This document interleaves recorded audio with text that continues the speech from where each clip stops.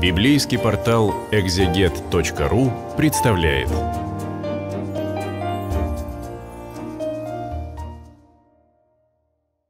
Сегодня на библейском портале «Экзегет» мы продолжаем изучение книги Второзакония, и сегодня мы будем читать 28 главу этой книги. А в начале этой главы говорится о благословениях за послушание. А в конце этой книги говорится о проклятии за непослушание. И мы читаем 28 глава с 1 стиха по 14. Если ты, когда перейдешь за Иордан в землю, которую Господь Бог ваш дает вам, будешь слушать гласа Господа Бога твоего, тщательно исполнять все заповеди Его, которые заповедуют тебе сегодня, то Господь Бог твой поставит тебя выше всех народов земли. И придут на тебя все благословения сии, и исполнятся на тебе – если будешь слушать гласа Господа Бога твоего. То есть божественные благословения, они предполагают э, то, что человек проявляет послушание перед Богом. Послушание перед Богом, когда он исполняет волю Бога, которая изложена в его святых заповедях. И далее говорится о тех э, благословениях, которые будут э, даны э, хорошим послушникам, которые выполняют те послушания, которые получают в церкви или обнаруживают их на страницах Священного Писания. Благословен ты в городе и благословен на поле. Благословен плод чрева твоего, и плод земли твоей, и плод скота твоего, и плод твоих волов, и плод овец твоих. Благословены житницы твои и кладовые твои. Благословен ты при входе твоем, и благословен ты при выходе твоем. Поразит пред тобою Господь врагов твоих, восстающих на тебя. Одним путем они выступят против тебя, а семью путями побегут от тебя. То есть Господь э, рассеет всех наших э, врагов, как бы единодушно э, вначале они не выступали бы против нас. «Поразит пред тобою Господь врагов твоих, восстающих на тебя. Одним путем они выступят против тебя, семью путями побегут от тебя». Другой смысл этих э, слов – различные наказания э, будут э, положены на этих противников народа Божия, потому что число 7 означает неопределенность в сторону увеличения, как число 6 означает неопределенность в сторону уменьшения. То есть наказания врагов церкви будут многоразличные и многообразные. Пошлет Господь тебе благословение в житницах твоих и во всяком деле рук твоих, и благословит тебя на земле, которую Господь Бог твой дает тебе. Э, земля – это то, чем мы должны заниматься. Земля в Библии – это эфемизм. Земля – это и сам человек, и то, чем он должен заниматься. А чем должен заниматься человек? Прежде всего, самим собою. Сказано в Новом Завете, вникай в себя и в учение занимайся всем самым постоянно. А в книге «Бытия» сказано «возделывай и храни рай». А так как человек сам есть земля, он создан из земли, он должен проявлять заботу о себе, чтобы усовершенствовавшись, он смог бы усовершенствовать окружающий его мир. Отцы выражали эту мысль словами «спасись сам, и вокруг тебя спасутся тысячи».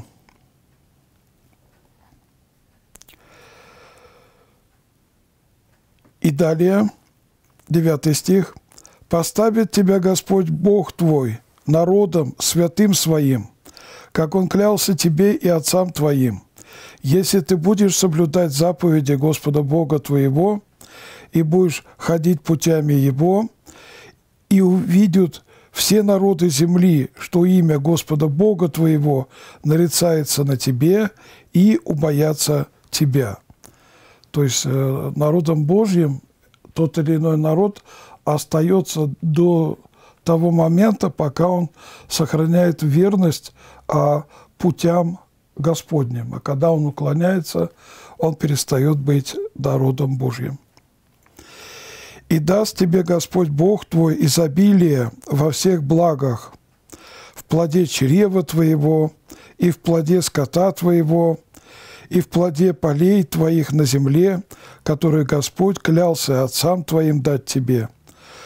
Откроет тебе Господь добрую сокровищницу свою, небо, чтобы оно давало дождь земле твоей во время свое, и чтобы благословлять все дела рук твоих, и будешь давать взаймы многим народам, а сам не будешь брать взаймы.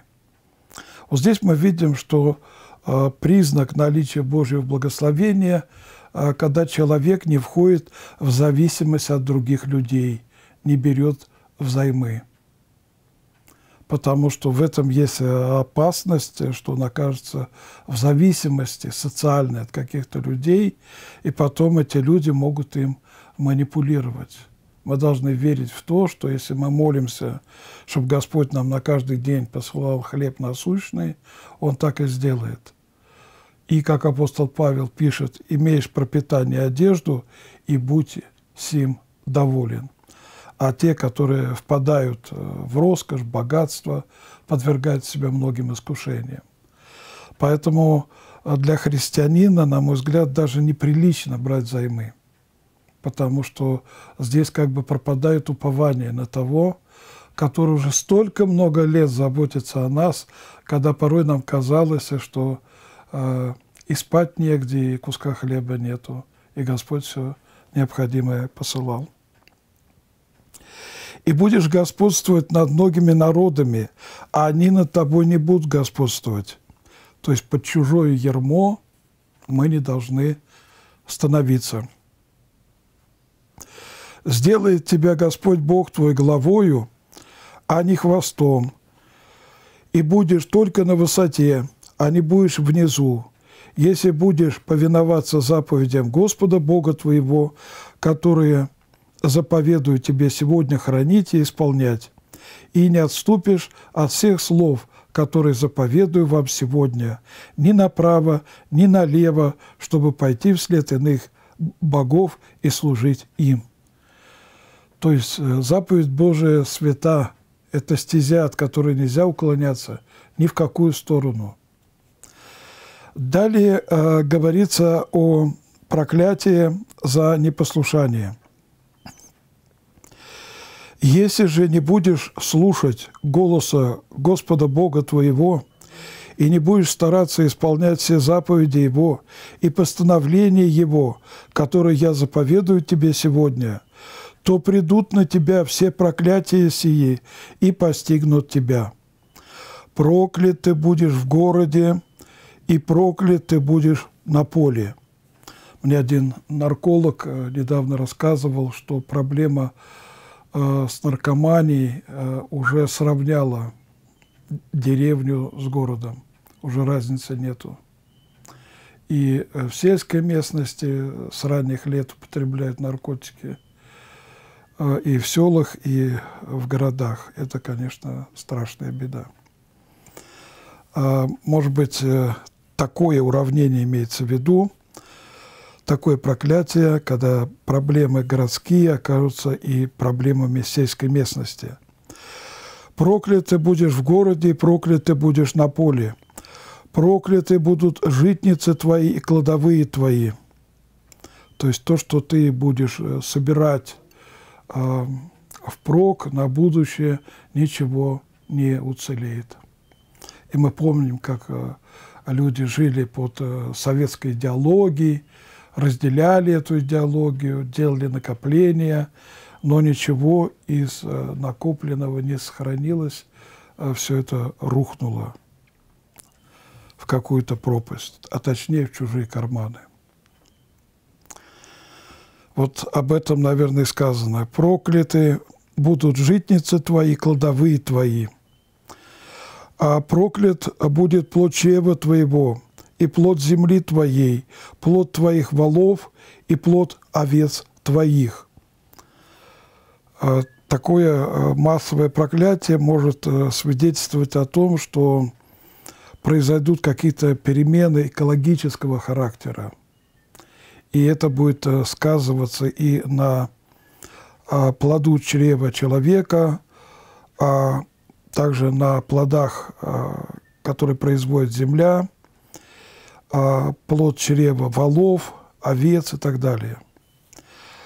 Проклят ты будешь при входе твоем, и проклят при выходе твоем. То есть любое дело, которое не предпринимаешь, все равно будут какие-то проблемы. Или речь идет о том, что проклятие будет каждый день. При выходе из дома с утра, когда идешь э, на работу, и проклят при выходе твоем. Проклят ты будешь при входе твоем, это когда возвращаешься домой, и проклят при выходе твоем, когда идешь на работу. Пошлет Господь на тебя проклятие, смятение и несчастье во всяком деле рук твоих. Вот смятение – это та реальность, которая сейчас обхватила очень многих. Многие люди вот последние полгода говорят, мы чувствуем, что-то грядет ужасное проклятие, смятение и несчастье во всяком деле рук твоих, какое не станешь ты делать, доколе не будешь истреблен. Ты скоро погибнешь за злые дела твои, за то, что ты оставил меня». Ну, кто-то может сказать, что человечество давно уже существует. На самом деле, э, э, любая эпидемия, если Господь не попустит людям найти защиту от какого-то вируса, она может э, уничтожить э, всех людей на Земле. Напротив, жизнь, э, она зыбка. И ученые говорят, что жизнь на Земле некоторых видов, она прекращалась уже. Куда делись эти огромные динозавры? Все это прекратилось.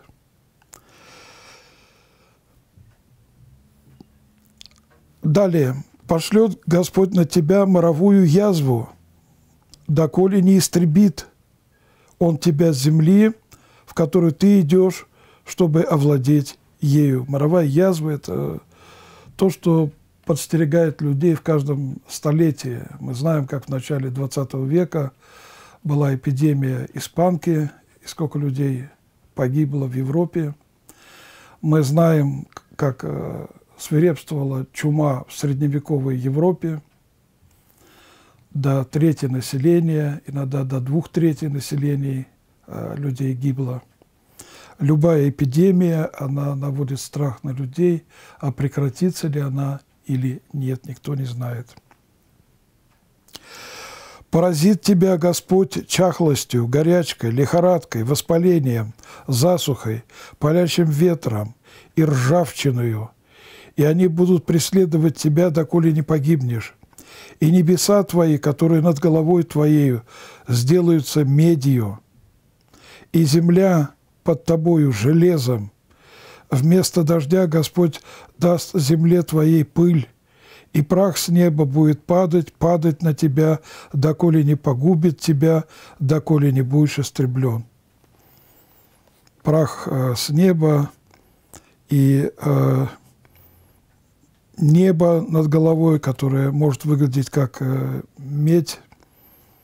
Это обычно происходит э, при извержении вулкана и при ядерном взрыве. При извержении э, вулкана пепел покрывает всю местность, и он очень горячий, он несет смерть себе. И так все плотно покрывает, что окаменение происходит останков людей, животных. Ядерный взрыв, вот как раз тоже этот ужасный пепел, ядерный осадок, он уничтожает даже больше, чем погибает в эпицентре самого взрыва. Вместо дождя Господь даст земле твоей пыль, и прах с неба будет падать, падать на тебя, доколе не погубит тебя, и доколе не будешь истреблен. И далее. «Предаст тебя Господь на поражение врагам твоим». Здесь, видите, вот это взаимосвязано. Вот этот прах с неба и следующее, это как бы произойдет не само по себе, а когда Господь пошлет нам поражение. «Предаст тебя Господь на поражение врагам твоим, одним путем выступишь против них, а семью путями побежишь от них». Мы уже рассуждали над этим. Если одним путем кто-то выступает, а семью э, возвращается, это значит э, рассеется э, армия. Или же будет столько много наказаний, столько бедствий, потому что число 7 – это неопределенное число в сторону увеличения. А семью путями побежишь от них, и будешь рассеян по всем царствам земли. Да, мы имеем пример, э, э, еврейский народ, очень талантливый народ, но он не послушался Господа, Его святого закона и рассеян э, по всем царствам земли. Этот народ своим вот этим рассеянием уже показывает точность исполнения Божьих заповедей. И нас Господь тоже рассеивал.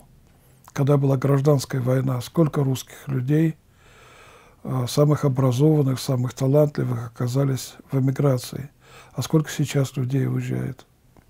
Такое может произойти с каждым народом, когда он проявляет гордыню и не сохраняет верность закону Э, Бога. И а, будут трупы твои пищей всем птицам небесным и зверям, и не будет отгоняющего их. Поразит тебя Господь проказой египетской, по чечуям, коростою и чесоткою, от которых ты не возможешь исцелиться. Поразит тебя Господь сумасшествием – слепотою и оцепенением сердца. Сумасшествие – это, по-моему, сейчас такая реальность. Достаточно включить телевизор и послушать, а, что люди а, говорят друг о друге, особенно те, которые недавно говорили, что братских народов а, союз вековой. Что теперь в России говорят про украинцев, и что теперь на Украине говорят про россиян? Как это могло так быстро э, все произойти? Это явное безумие. И получается точно, как говорят в народе, кого Бог хочет наказать, лишает разума. Ведь мы прочитали, поразит тебя Господь сумасшествием. Это наказание от Бога. Далее 29 стих.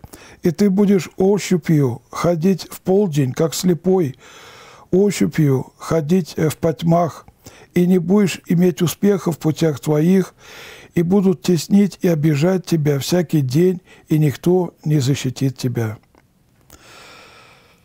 Никто не может защитить, если Господь не защищает, если Господь попустил нам быть наказанными.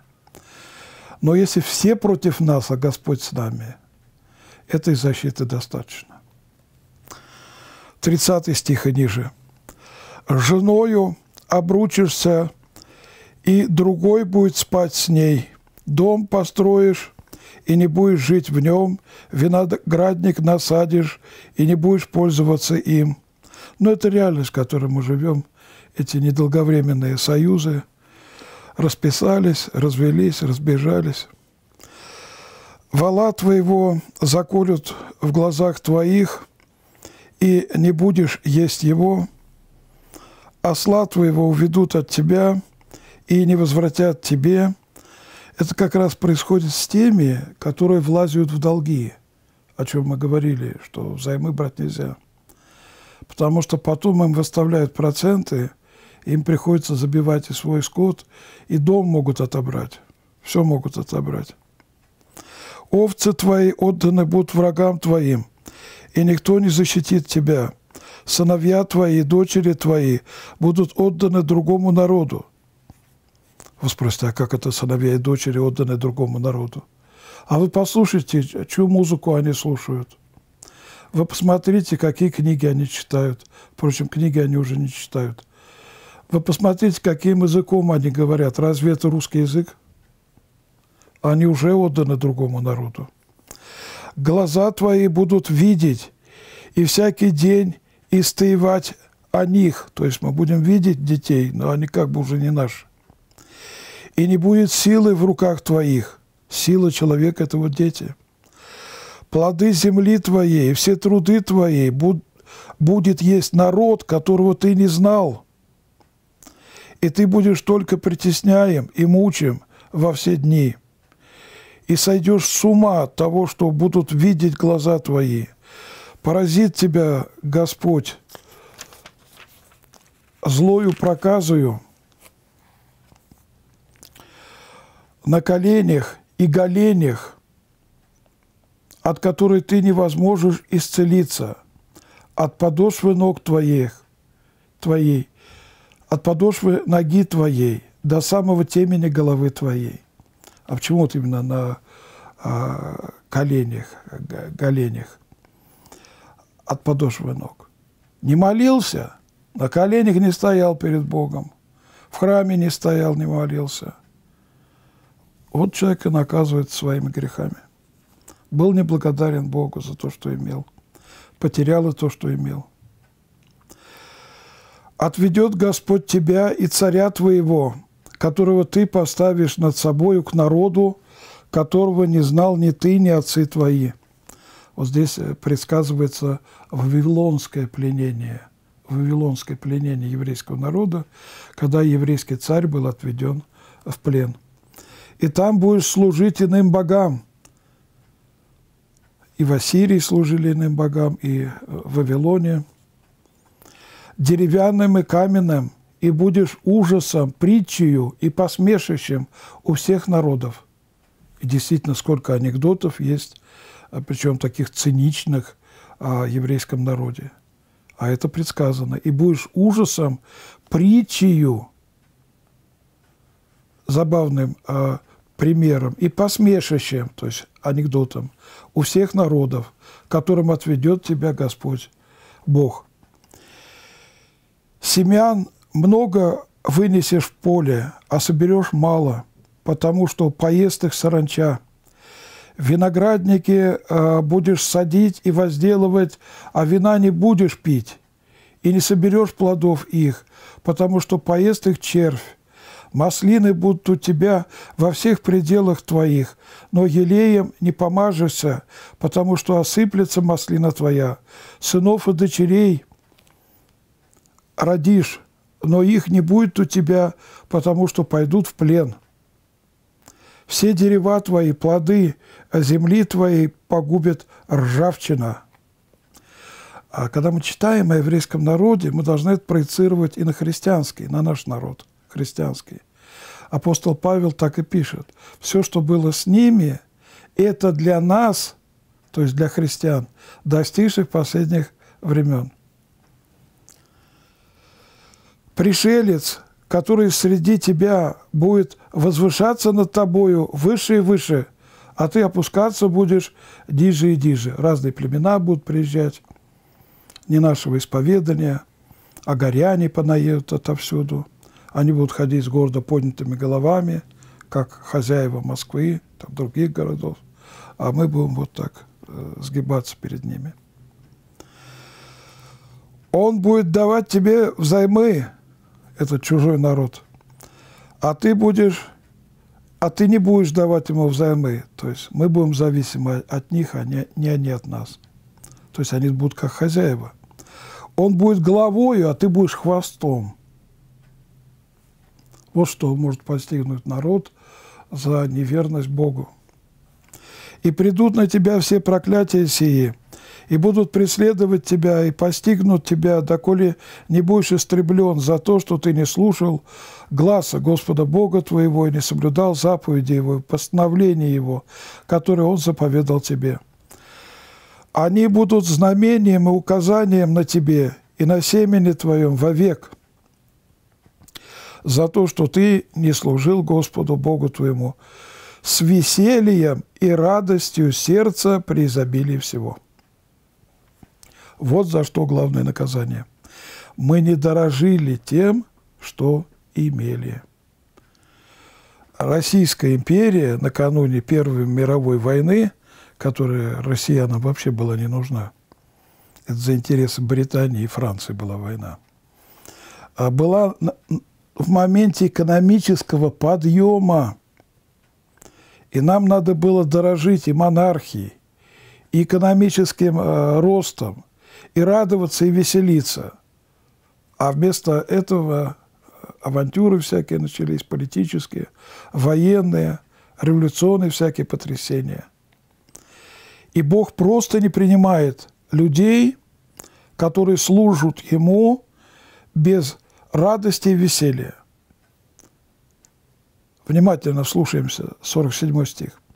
«За то, что ты не служил Господу, Богу твоему, то есть исполнял заповеди, но без веселья и радости, за то, что ты не служил Господу Богу твоему с весельем и радостью сердца при изобилии всего, будешь служить врагу твоему, которого пошлет на тебя Господь Бог твой, в голоде и жажде и наготе и во всяком, и во всяком недостатке Он возложит на шею твою железное ермо, так что измучит тебя. Пошлет на тебя Господь народ издалека, от края земли, как орел налетит народ, которого языка ты не разумеешь.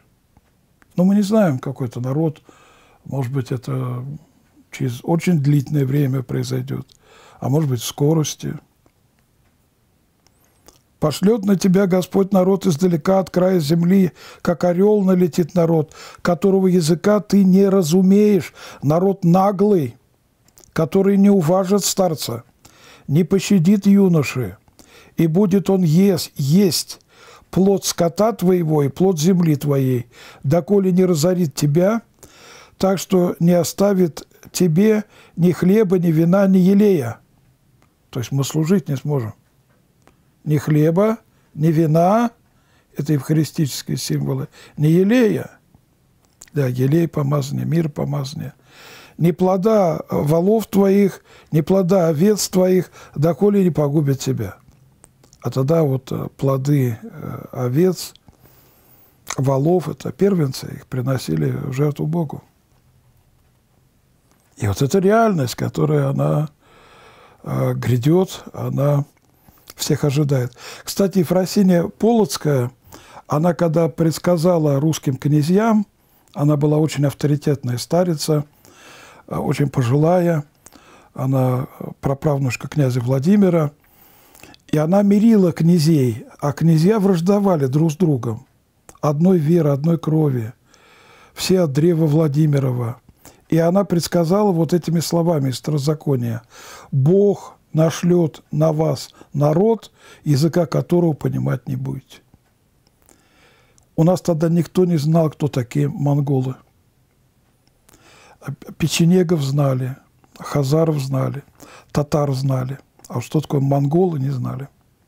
И когда эта орда пришла, и наказание за то, что мы разобщенные – что брат на брата, как сейчас славянское триединство, Украина, Россия, Белоруссия, все разобщается, разобщается, и каждый себя считает а, правым.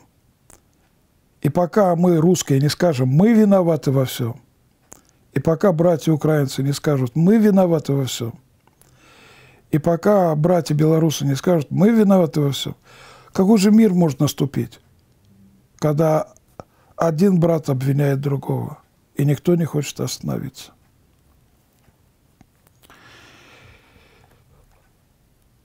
И будет теснить тебя, вот этот народ, языка которого не знаешь, во всех жилищах твоих, доколе во всей земле твоей не разрушат высоких и крепких стен твоих.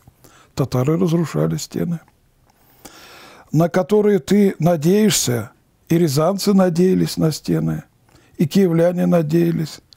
А монголы все это разрушили. И будет теснить тебя во всех жилищах твоих, во всей земле твоей, которую Господь, Бог твой, а, дал тебе. И ты будешь есть плод чрева твоего от голода, плод сынов твоих и дочерей твоих, которых Господь Бог твой дал тебе в осаде и в стеснение, в котором стеснят тебя враги твои. Иосиф Флавий, Иосиф бен Матафия, живший в первом веке, он наблюдал осаду Иерусалима, когда римляне делали осаду, и там с голоду люди начали поедать своих детей. И бегали команды зелотов, там, фанатиков, которые довели э, до э, такой ужасной войны все. И вынюхивали, не пахнет ли мясом. Иосиф Флавий описывает, они забежали в один дом и увидели там мать, а, значит, сварила ребенка своего маленького.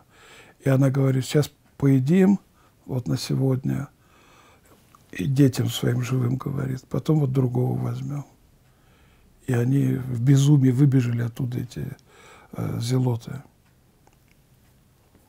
Те, которые за войну ратовали, которые ратовали за вооружение, что мы весь мир завоюем.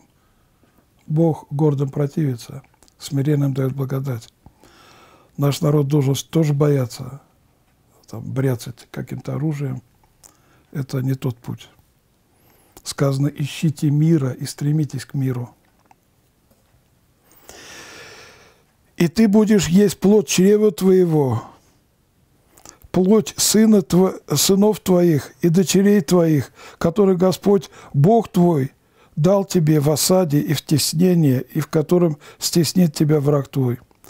Муж изнеженный и живший между а, вами великой роскошью, безжалостным оком будет смотреть на брата своего, на жену недра своего и на остальных детей своих, которые останутся у него – и не даст ни одному из них платить детей своих, которых он будет есть, потому что у него не останется ничего в осаде и в стеснении, в котором стеснит тебя враг твой во всех жилищах твоих. Женщина, жившая у тебя в неге и роскоши, которая никогда ноги своей не ставила на землю по причине роскоши и изнеженности, будет безжалостным оком смотреть на мужа, недра своего, и на сына своего, и на дочь свою, и не даст им последа, выходящего из среды ног ее, и детей, которых она родит, потому что она при недостатке во всем тайно будет есть их в осаде, стеснении, а в котором стеснит тебя враг твой в жилище твоем. Мы знаем, в каком положении был э, Ленинград, э, столица революции, э, какой страшный голод был там, а сколько жертв, сколько погибло детей. В истории очень многое-многое повторяется. В этом как раз и заключается универсальность Слова Божия.